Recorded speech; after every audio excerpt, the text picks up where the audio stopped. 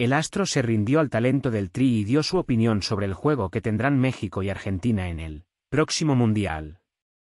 Lionel Messi se encuentra concentrado con la albiceleste para lo que será partido ante Italia en la finalísima, en un par de días.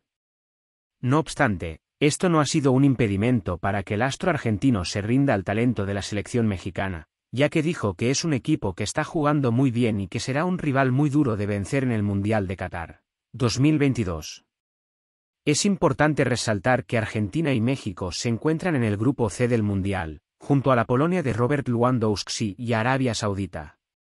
Asimismo, el partido entre el albiceleste y los aztecas se llevará a cabo el 26 de noviembre en el Lusail Stadium. México una selección que siempre nos costó, que juega muy bien.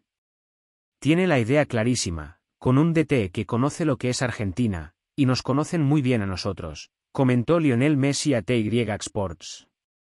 Con respecto a su mención al entrenador azteca, cabe recordar que Gerardo, Tata, Martino estuvo al mando de Argentina desde el año 2014 hasta el 2016 y que, dos años más tarde, es decir, desde el 2018 hasta la actualidad, ha estado en el banquillo de la selección de México.